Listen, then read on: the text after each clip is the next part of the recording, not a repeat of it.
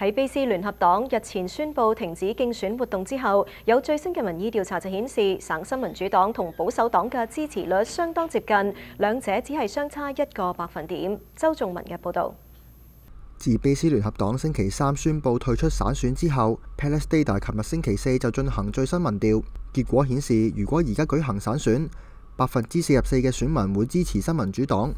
相比有百分之四十三支持嘅保守黨多出一個百分點。而百分之十一就支持六黨。民調公司認為，原有聯合黨支持者中，唔少喺黨領馮宜幹宣布停止競選之前就已經轉為支持保守黨，而餘下唔贊同保守黨理念嘅支持者就轉為支持新民主黨或者六黨。因為咁，目前嚟睇，聯合黨退出競選並未帶俾保守黨太多助力。另外，選民對新民主黨黨領尹大維有好感嘅比率，明顯優勝於其他兩個主要政黨黨領，包括保守黨嘅羅士德同六黨嘅 Sonia Furstenau。新时代电视周俊文报道。